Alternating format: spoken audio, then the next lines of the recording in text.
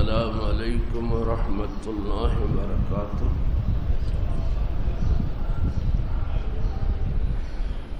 إن الله وملائكته يصلون على النبي.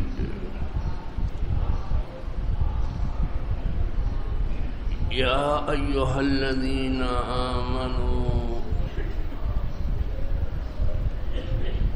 صلوا عليه وسلموا تسليما. اللهم صل وسلم على سيدنا محمد وآله وأصحابه وبارك وسلم.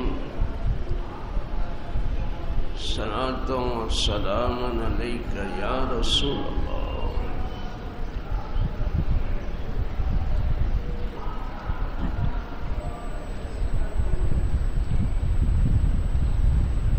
نحمده ونصلي ونسلم على رسوله الكريم، أما بعد. فأعوذ بالله من الشيطان الرجيم. بسم الله الرحمن الرحيم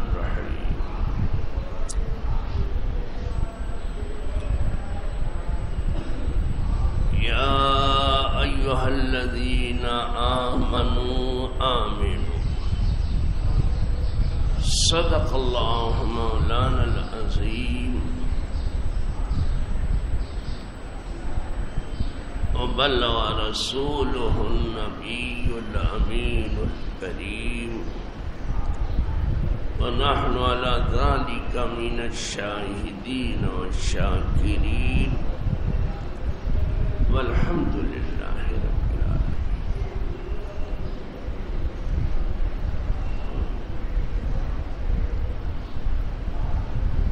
برادران ملت اسلامیہ و عزیزان کرم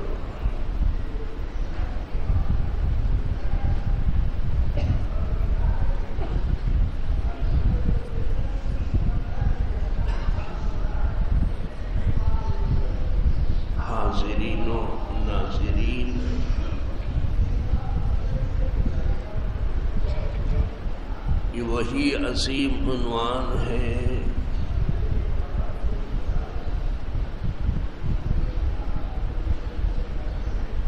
جسے بہت پہلے سے آپ سماعت فرماتے چلے آ رہے ہیں۔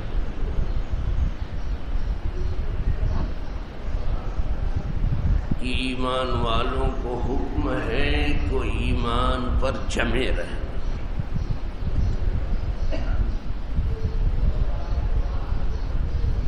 اور اس پر مضبوط دکھائیں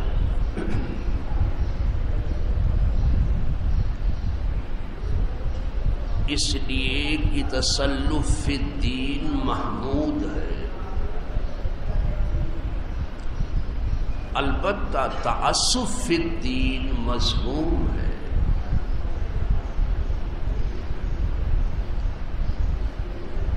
دین میں مضبوطی اچھی چیز ہے۔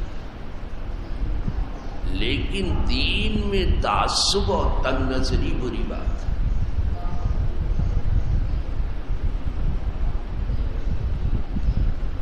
تو صرف دیندار ہونے کا حکم نہیں ہے، مضبوط دیندار۔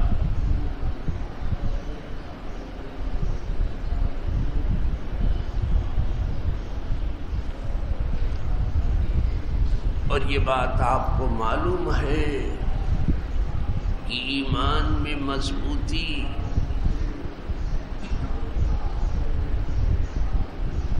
بغیر خدا کی توفیق کے ممکن ہے۔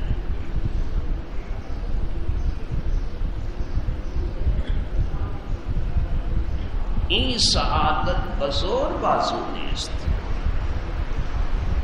تان بخشد خدائے بخشندہ یہ خوش بختی یوں حصے میں تو نہیں آتی۔ جب تک وہ دینے والا نہ ایمان والوں کو معلوم ہے کہ ایمان کی ستر سے کچھ اوپر شاخ ہے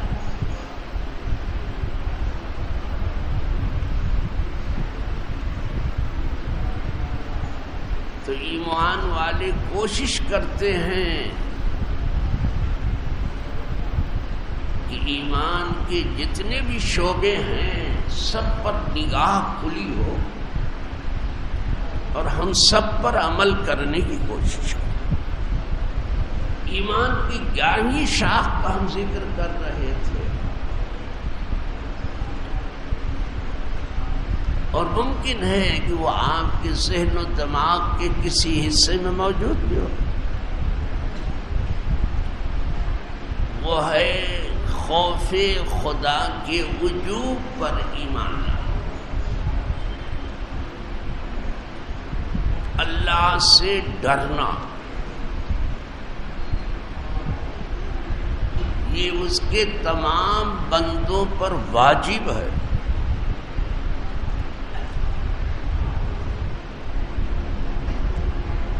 اور جب شرعی اصطلاح میں واجب بولا جاتا ہے، تو اس کے معنی ہے فرض ہے۔ اور اس کے بندوں پر قرض ہے۔ پھر ڈرنے کا بھی معاملہ ایسا ایسا ڈرو کہ کسی سے ڈر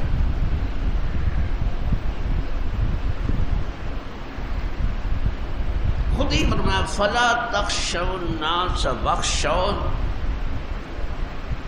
لوگوں سے نہیں، مجھ سے ڈرو۔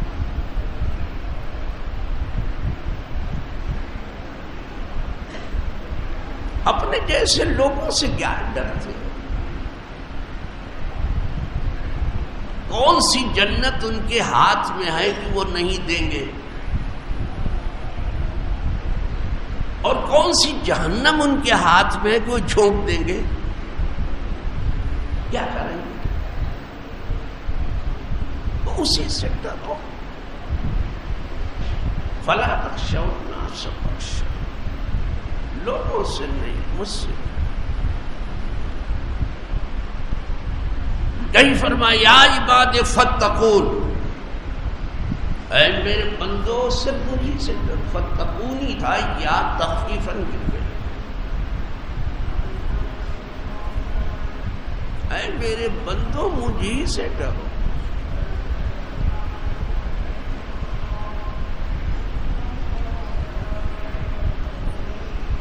اس لیے کہ پیدا کرنے والا وہی ہے، پالنے والا وہی ہے، روزی دینے والا وہی ہے، زندگی اور موت دینے والا وہی ہے، عزت اور ذلت سب اسی کی طرف سے ہے۔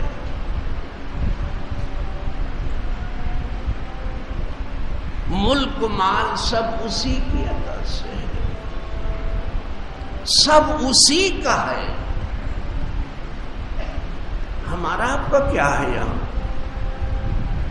پھر اس نے جس کو جو چاہ دیا، اس کے پاس جو ہے وہ اسی کا ہے۔ اور بندوں کے پاس جو ہے اس کا دیا ہوا ہے۔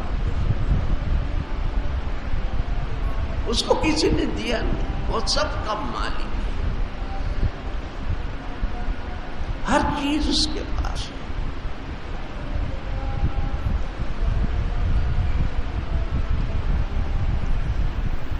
تو جب سب اسی کا ہے، ہمارا کچھ نہیں ہے۔ اور جو ہے اس کے دیے سے۔ تو پھر اسی سے ڈرنا چاہیے اور اسی سے امید بھی رکھنی اسی سے ڈرو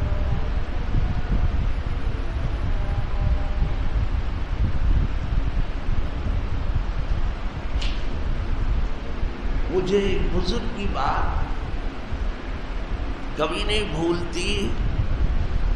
وہ اپنی دعاؤں میں کہا کرتے تھے۔ یا ملہ دنیا والا ارحم ملح لہ دنیا والا. آخرا جب وہ دعا کرتے تھے تو یہ کہتے تھے، اب تو کچھ دعائیں بھی یاد کرنی ہے؟ زندگی بھر اس کے سوا کچھ نہیں۔ انہیں معلوم ہونا چاہیے دعا درد دل کا نام دعا کا وہ رنگ ہونا چاہیے جیسے دل کا رنگ اور دل سے ہی دعا کو نکلنا چاہیے۔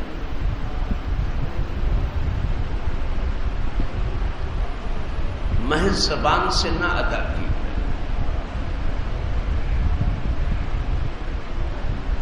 وہ دل کا درد ہے۔ تو وہ دعا کرتے تھے، یا ملہ دنیا والا آخرام ارحم مل لہ دنیا والا اے وہ پاک ذات۔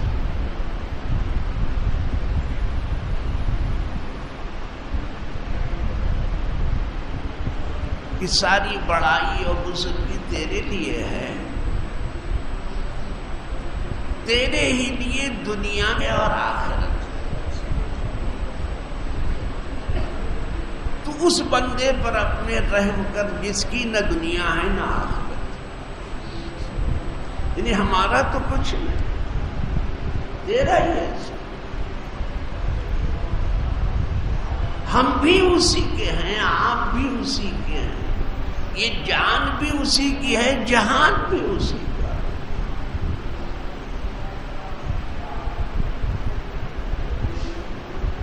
اسی لیے تو اس نے منع کر دیا۔ جان میری دی ہوئی تمہارے پاس خودکشی نہیں کرنا۔ تم کون ہوتے ہو اس کو ختم کرنے والے؟ وہ تو میری چیز ہے۔ حرام کر دیا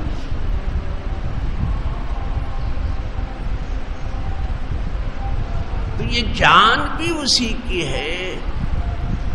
اور جہان بھی اسی کا اسی لیے مال کے لیے بھی منع کر دیا کہ بہت فضول خرچی مت کرنا جہاں بہت بخل سے روکا گیا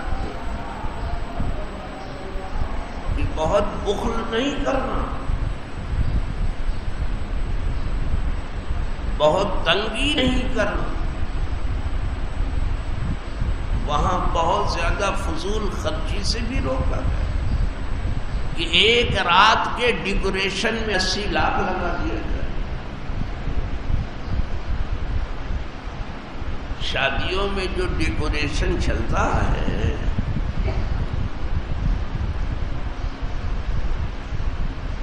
لگتا ہے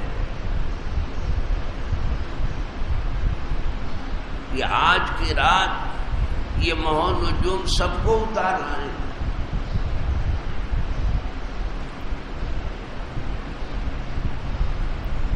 تھوڑی دیر کی واہ واہ کے لیے۔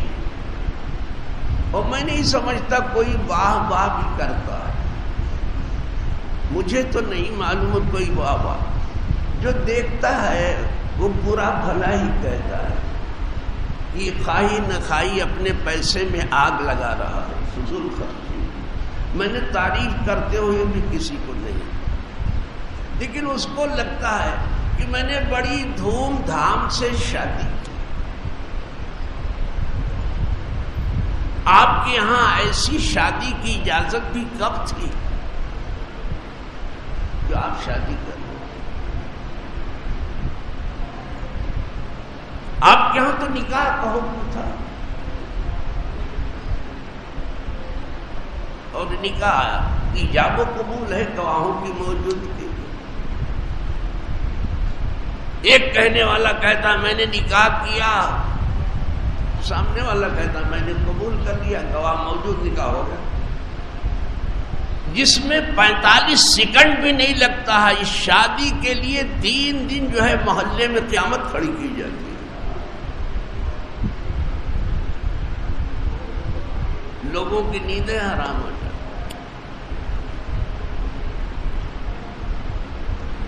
اور پھر جب میدان میں دیکھے تو کیا کچھ ہاتھ کو دکھائی؟ کیا کوئی اسلام بھی آپ کو اجازت دی کہ آپ اپنے طور پر خوشی منا لو جو چاہو؟ نو. ایسی اجازت آپ کو دے کیا آپ کو ایسی اجازت بھی اسلام نے دی کہ آپ اپنے طور پر غم منا لو جیسے چاہو۔ نہیں۔ آپ یہاں بھی پابند ہیں۔ بس وہی خوشی آپ منا سکتے ہو جو اسلام نے اجازت دی ہے۔ آپ مسلمان۔ اور آپ اتنا ہی غم منا سکتے ہو جو اسلام نے اجازت دی۔ یہاں بھی حدیں ہیں، وہاں بھی حدیں جائز خوشی آپ مناؤ، بلکہ اس کا ہو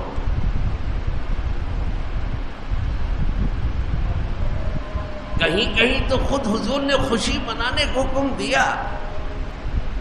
فرمایا، سیدہ عائشہ صدیقہ رضی اللہ تعالی عنہ سے کہ آپ لڑکی کی رخصتی میں گئی تھی، لڑکی رخصت ہو گئی؟ کہا ہاں لڑکی کی رخصتی عمل میں آ گئی ہے۔ لڑکی رخصت ہو گئی۔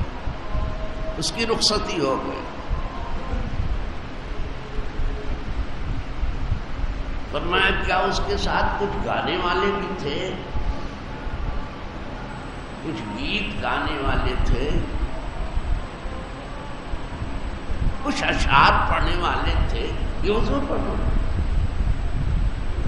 کہا، حضور کچھ گیت گانے والے تو نہیں تھے، کچھ اشعار پڑھنے والے نہیں تھے۔ لیکن اب چونکہ بات ام المومنین کی ہے، بڑی ذہین تھی،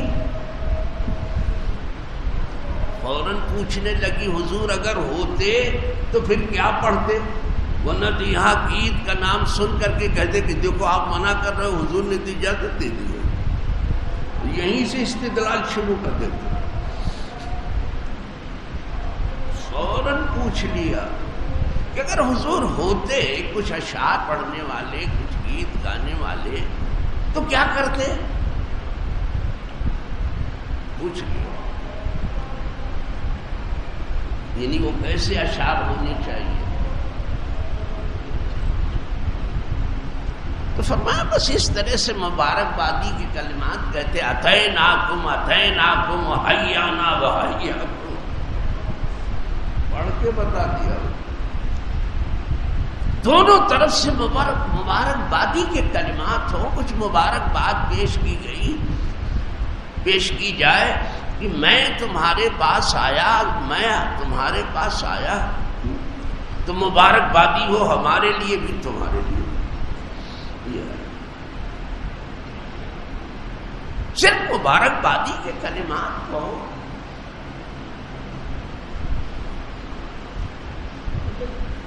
کوئی نازیبا کلمات نہ ہو تو ہمارے ہاں اس پر بھی معاملہ ہے کہ ہم پابند ہیں خوشی منانے میں بھی اتنی خوشی کہ جتنے کی اجازت ہے۔ اور غم منانے میں بھی پابند ہیں اتنا ہی غم جتنے کی اجازت ہے۔ جیسے میت ہو گئی، تو کون منع کرے گا کہ کوئی روئے نہیں؟ دل میں تو آگ لگی ہوئی دل تو چل رہا ہے۔ اندر سے شولے بھڑک رہے ہیں۔ کون منع کرے گا؟ جو فطری آنسو آتے ہیں، آنے تو قدرتی طور پر جو آنسو آ رہے ہیں، آنے نہیں روکا گیا۔ لیکن کوئی منہ پیٹنے لگے، گریبان پھاڑنے لگے، پچھاڑے کھانے لگے، سر پہ دھول اڑانے لگے اور چیخنا چلانا شروع کر دے۔ واہ ویلا واہ مصیبت اپنے اپنے انداز کو۔ اب منع کیا جائے۔ من درب الخدود و شکل جیو فلے منا اب آ گیا، اب پہرا آیا جس نے اپنے چہرے پر تھپڑ لگایا اور گریبان پھاڑا حضور فرماتے ہو، ہمارا تو نہیں۔ اتنی بے قراری کیوں آپ جائے؟ اللہ کی امانت تھی لیا اس نے جب چاہے لے لیا جان مال سب اس کی امانت۔ جس نے چہرے پر تھپڑ لگائے اور گریبان چاک کے فرمایا، وہ ہمارا۔ یہاں بھی پہلے۔ تو وہ فرماتا ہے، بندو وہ مجھی سے ڈرو۔ کسی سے کچھ ڈرنے کی ضرورت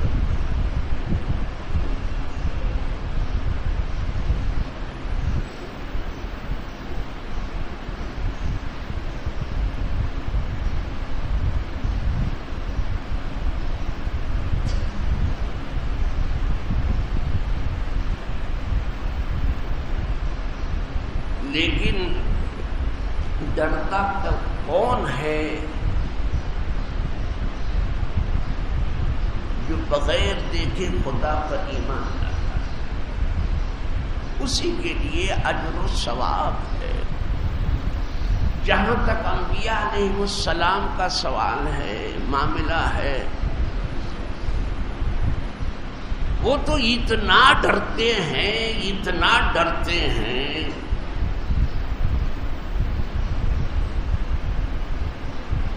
سب سے زیادہ ڈرنے والے وہی ہیں خدا سے۔ کہ نہ پوچھو۔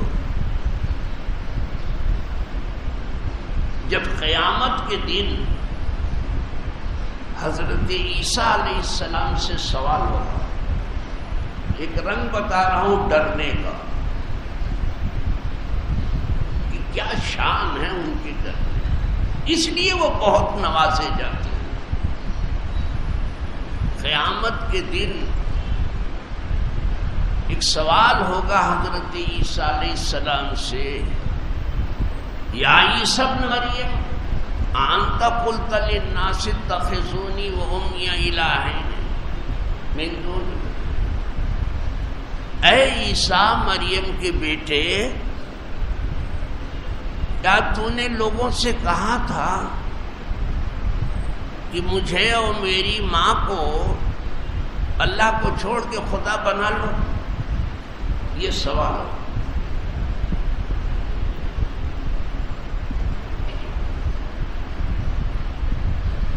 روایتوں میں ہے کہ جس وقت یہ سوال متوجہ ہوگا عیسیٰ علیہ السلام کی طرف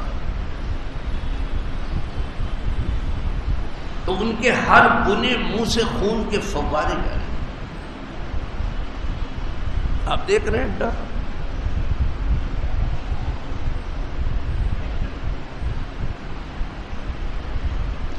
حالانکہ عیسیٰ علیہ السلام کیسے کہیں گے؟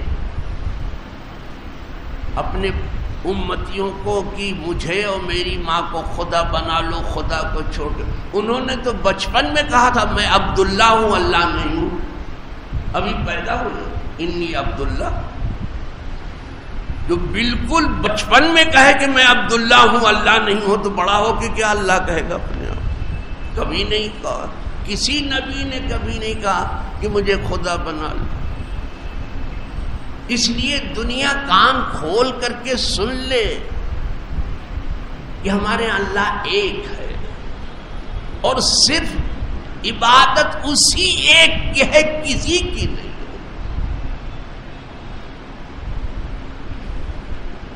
احترام ماں باپ کا اتنا ہے کہ وہ جنت ہے، جنت کی چوکھٹ ہے۔ لیکن وہ خدا نہیں ہے وہ خدا کے بیٹے ان کی عبادت نہیں ہو۔ ہمارے ہاں عبادت صرف ایک کی ہے۔ بس۔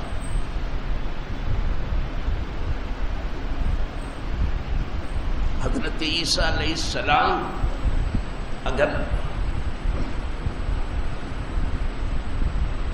یہ کہتے کہ میرے مولا میں نے کبھی نہیں کہا، ہرگز نہیں کہا۔ تو بالکل سچ ہوتا۔ لیکن ذرا ادب الہی دیکھیں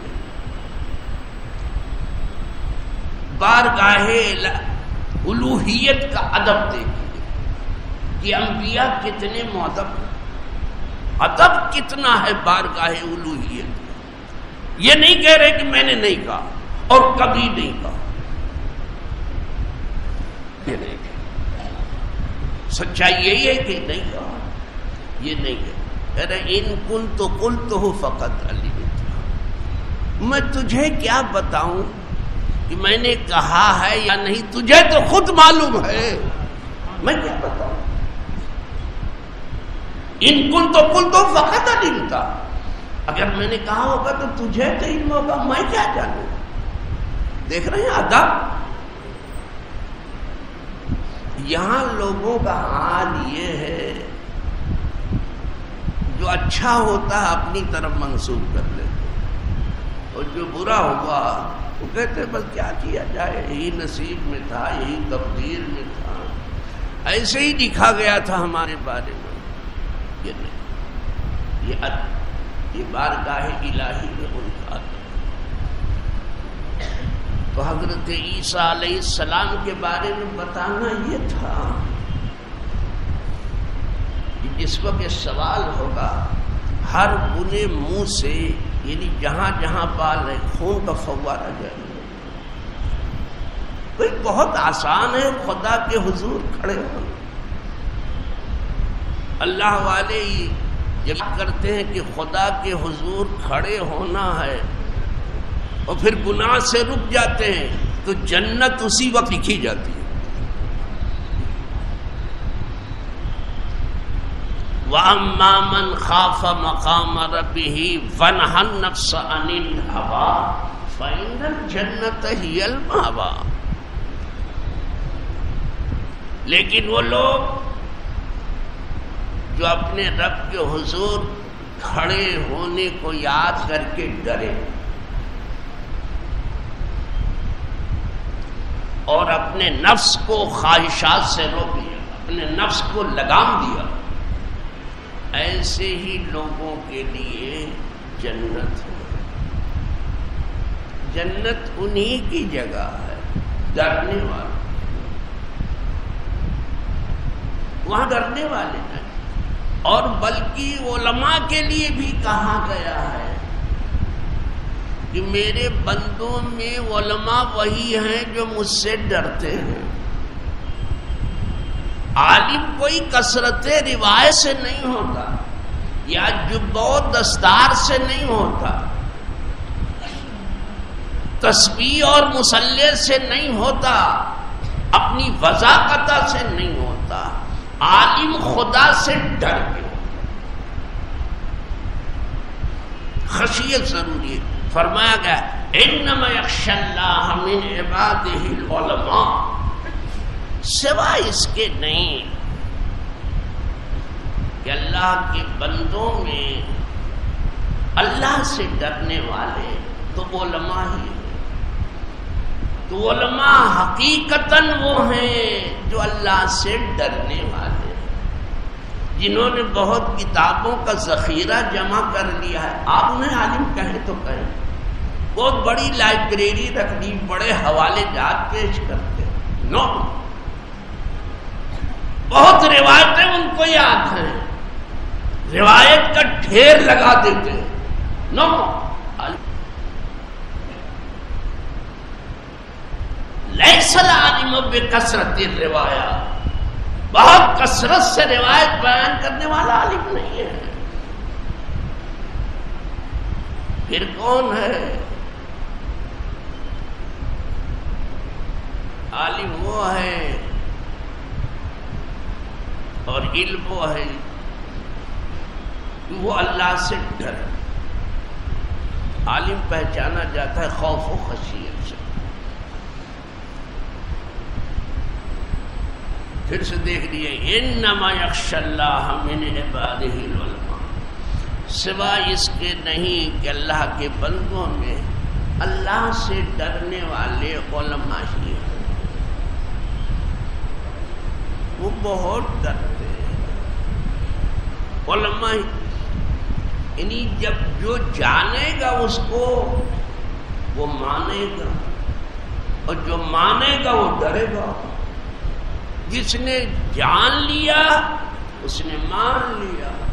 اور جس نے مان لیا، وہ ڈرتا بھی جانا ہی نہیں لوگوں نے۔ سمجھ ہی نہیں آیا کیا مانے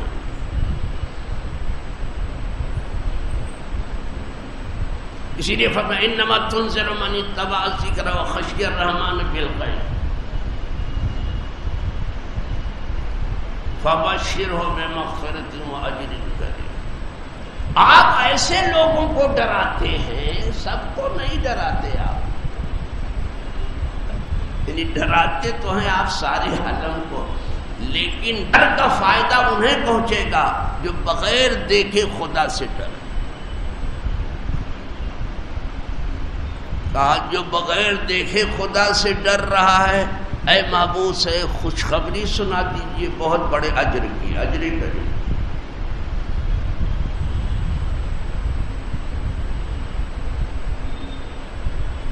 بہت سی آیتیں اس میں وہ چاہتا ہے کہ اس کے بندے اسی سے ڈرے۔ یہ کتاب اللہ جو ہم آپ پڑھتے ہیں، صبح و شام پڑھتے ہیں، اپنی نمازوں میں پڑھتے ہیں۔ اس کتاب کے بارے میں آیا کہ اگر یہ کتاب پہاڑ پہ اترتی تو وہ پہاڑ دب جاتا۔ ہمیں پہاڑ دب جاتا یہ دل نہیں دبا۔ لو انسلنا حاضل قرآن اللہ جبلی ذرائع تو خاصی متصد من خشیت۔ اگر اس کتاب کو ہم کسی پہاڑ کے اوپر اتارتے، تو آپ دیکھیں کہ پہاڑ دب گیا، چھپ گیا۔ اور پاش پاش ہو گیا خاشے کہتے ہیں جھکنے کو۔ پہاڑ جھک جاتا، دل کیوں نہیں جھک رہا ہے؟ ایک ڈیڑھ چھٹاک کا دل، وہ نہیں جھک رہا ہے آپ کا؟ پہاڑ جھکتا اگر یہ کتاب اترتی پہاڑ متشد جنگ سے جھکتا نہیں پاس پاس ہو جاتا ٹکڑے ٹکڑے۔ کیسے کیوں؟ من خش اللہ کے ڈر سے۔ من خشیت اللہ۔ اسی لیے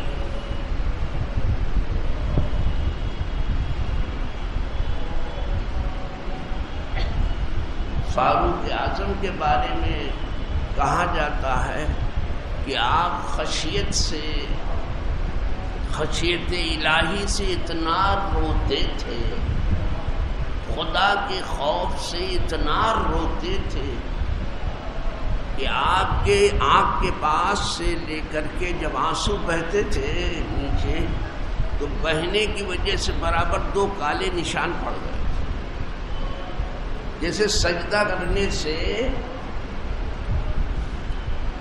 لوگوں کے کچھ چہرے کچھ پیشانی کے اوپر کالا نشان آتا ہے، کچھ لوگ گھس کے بناتے ہیں، وہ صحیح نہیں۔ وہ خود بخود آ جائے تو وہ ٹھیک ہے، لیکن گھس کے نہیں بنا۔ اس لیے وہ جس کی تعریف کی گئی، وہ چہرے کی رونق ہے، چمک کا۔ ان کے چہرے میں علامت ہے، نہ کہ پیشانی۔ تو آپ کے چہرے پر دو کالے نشان پڑ گئے تھے آنسو بہنے کی وجہ سے۔ کانا الا خد عمرا خطان اسودان من کسر دل بکا فاروق اعظم کے رخسار مبارک پر دو کالے نشان تھے۔ بہت زیادہ خدا کے ڈر سے رونے کی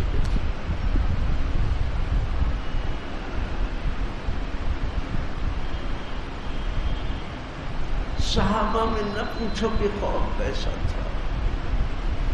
بہت روتے تھے۔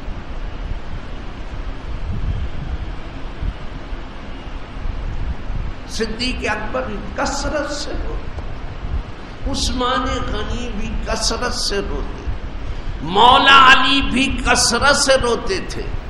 اب تو ہنسی ہو کہہ کہ کی محفلیں ہیں۔ اور کچھ نہیں تو مشاعرہ لے لے کے بیٹھے ہیں کہ ہماری قوم تباہ ہو رہی ہے۔ ہم مشاعرہ کر رہے ہیں۔ اور تم نہیں کرو گے تو کون کرے گا؟ واہ واہ، ہو رہا۔ مولا علی کے بارے میں تو ہے، کہتے ہیں صحابہ کہ مسجد کی محراب میں آپ بیٹھ جاتے تھے۔ اور جو خوش و خشیت آپ تاری ہوتا تو یا ربنا کہہ کے اپنی ریشے مبارک پکڑ لیتے اور زارو قطار روتے تھے۔ اس طرح سے کروٹیں بدل دیتے تھے جیسے کسی زہریلے سانپ نے کاٹ دیا۔ اتنا روتے تھے۔ کیسی منزلیں ہمارے سامنے ہیں۔ ابھی آنکھ بند ہو تو پھر دیکھو کیا ہے۔ لیکن لوگوں کو دیکھو کس قدر غفلت میں پڑے۔ اچھا وہ سب رونے والے تھے۔ یہاں کچھ لوگ ہیں کہ کہا لگا آپ بتاؤ، کسی نے کبھی حضور کو دیکھا کہ کہا لگا؟ حضور مسکراتے تھے ضرور۔ انما کان رسول اللہ صلی اللہ علیہ وسلم تبسم حضور تبسم فرماتے۔ اور جب تبسم فرماتے تھے تو سارے جہاں میں ایک زندگی کی حرارت دوڑنے لگی یوں مسکرائے جانسی کلیوں میں پڑ گئی۔ باغ و بہار میں رونق آ جاتی جس وقت حضور اور در و دیوار پر روشنی ہوتی تھی۔ مسکراتے تھے کہہ کہاں نہیں کرتے اور کبھی زیادہ کھل کے ہنس دیتے تھے تو کنارے کے دانت بھی دکھائی دیتے، جس کو صحت کہتے۔ تھے کبھی تبسم اور کبھی اس سے آگے صحت فرماتے تھے۔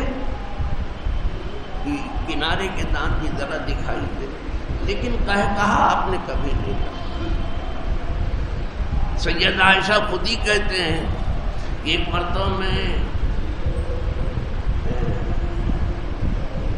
کچھ کپڑے سی رہی تھی میری تو سوئی گر گئی۔ شراب بھی کچھ گیا تھا۔ اب کریں تو کیا کریں؟ حضور اسی وقت داخل ہوئے اور سرکار نے تبسم فرمایا۔ بس اٹھا لی اس کی روشنی میں اپنی سوئی۔ گم شدہ سوئی اسی روشنی میں اٹھا لی تو لوگوں، خدا کے خوف کو مومن اپنے سینے ہی میں رکھتا ہے۔ اسی پر تو سب کچھ ہے۔ آپ سورہ رحمان میں پڑھتے ہیں۔ برابر پڑھتے ولی من خاف مقام ربی جنتان۔ اور جو اپنے رب یاد کرنے کو، کھڑے ہونے کو یاد کر کے اللہ سے ڈرا، جو اپنے رب کے حضور کھڑے ہونے کو یاد کر کے خدا سے ڈرا، اس کے لیے دو باغ جنتان نے دو باغ ایک نہیں ڈرنے والوں ہی کے لیے تو سب کچھ ہے، اور ڈرنے والے ہی گناہ سے بچنے والے۔ جو ڈرتا ہے وہ گناہ سے بچتا ہے، اور جو ڈرے نہیں کیا بچے گا جو ڈرتا نہیں، وہ گناہ سے نہیں بچے گا ہر وہ گناہ وہ تو دیکھا جائے گا۔ کیا دیکھو گے آپ؟ یہاں کیا آپ نے دیکھ لیا؟ وہاں دیکھو ڈرو۔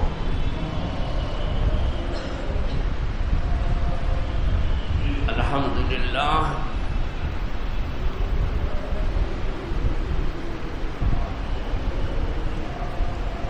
آج ہمارے یہاں جو دروس ہیں درس گاہوں میں، وہاں تو بلا شبہ ڈر کے درس لیے جا رہے درس گاہوں اب یہ بچے جو طلبا جو بیٹھے اپنا سر ہلا رہے ہیں کہ ہاں آئے ہمارے۔ وہاں ڈرایا جا رہا لیکن عوام ہماری انہیں صرف امید دلائی جا رہی بہت کم ڈرایا۔ پہلے ڈرایا زیادہ جاتا تھا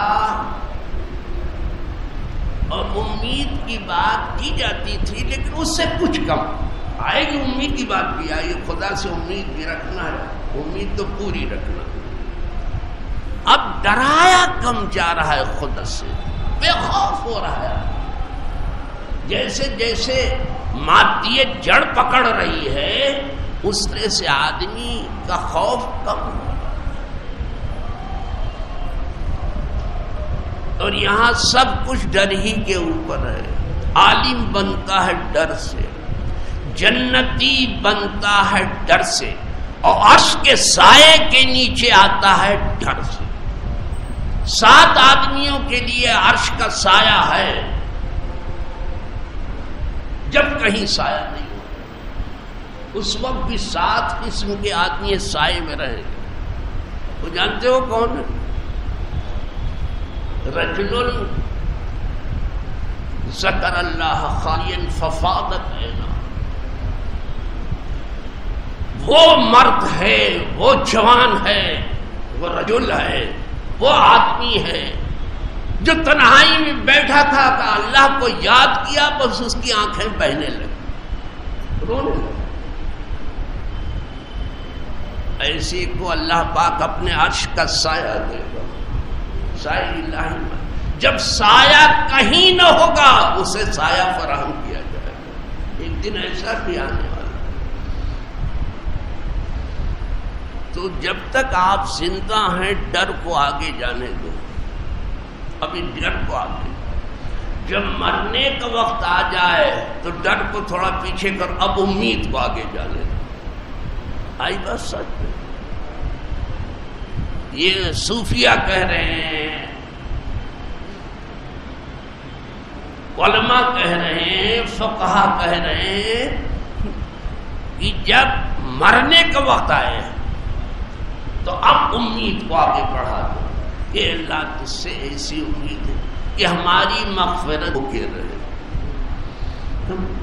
ویسے دونوں چاہیے، لیکن اب امید کا دامن بڑھنے دو، مرنے کے وقت۔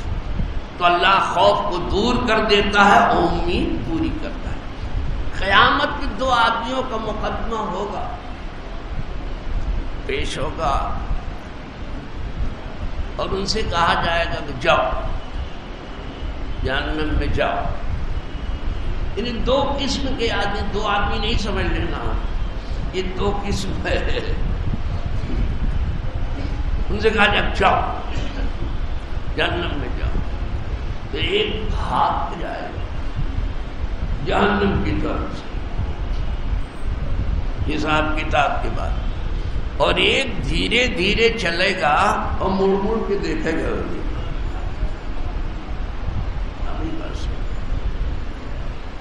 ایک بھاگے گا اور ایک دھیرے دھیرے چلے گا۔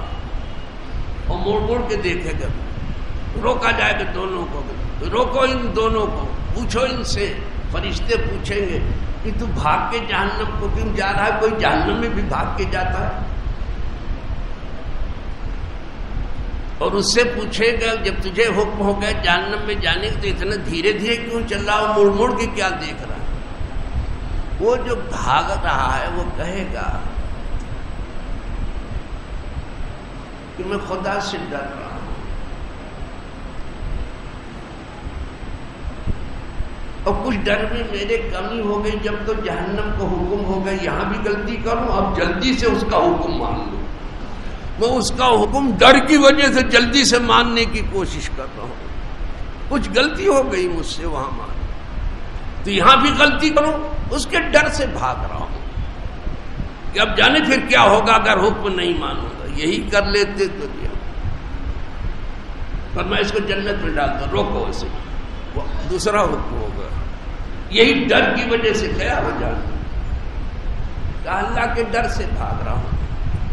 وہ یہی ڈرتا تھا، کچھ نہیں کیا۔ کم ہو گئی تھی بیچارے کی۔ اس سے پوچھا جائے گا جو دھیرے دھیرے جا رہا تھا۔